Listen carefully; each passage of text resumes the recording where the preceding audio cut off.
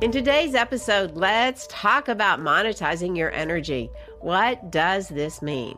Well, monetize, let's start there. Monetize is to convert into or express in the form of currency. Now, most of us know currency as the form of money. Money is an energy. Your subtle energies have a large impact on what you manifest into your life in terms of wealth, health, and vitality.